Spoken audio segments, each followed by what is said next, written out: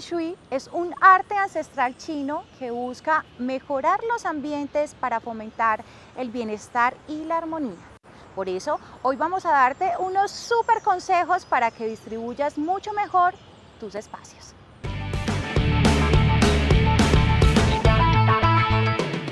Mi nombre es Charlotte, soy consultora en Feng Shui y hoy vamos a hablar de algunos tips que van a poder aplicar en sus casas para tener mejores energías en su entorno.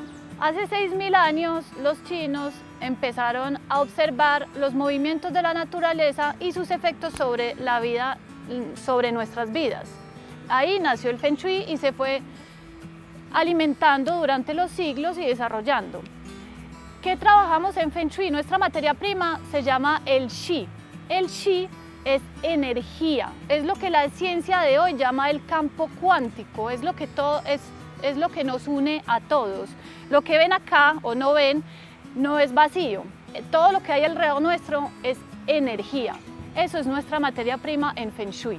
En Feng Shui lo que hacemos es tratar de maximizar las energías positivas del ambiente y disminuir las energías negativas que hay en el ambiente. Cuando hablo del ambiente es el ambiente externo y el ambiente interno de la casa. Lo primero que debemos tener en cuenta es tener siempre la casa en orden.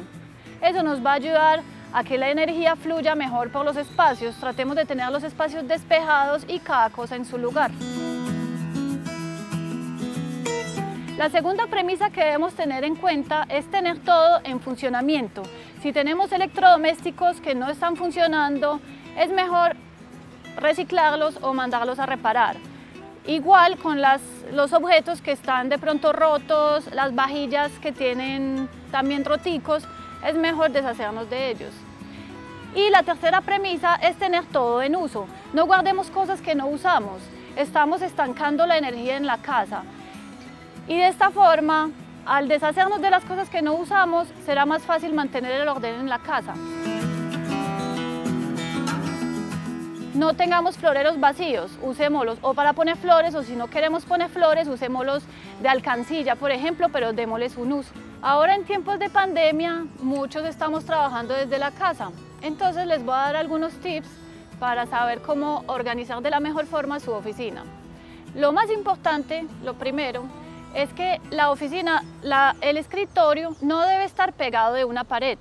Debemos tener un espacio al frente abierto, despejado, porque al pegar nuestro escritorio a la pared, nos, el efecto energético es como si nos cerráramos la mente, como si no tuviéramos visibilidad hacia el futuro. Necesitamos un, espejo, un, espacio despejado para poder crear y trabajar de forma más armoniosa. El segundo tip es que detrás de la silla, de la silla vamos a procurar siempre tener una pared.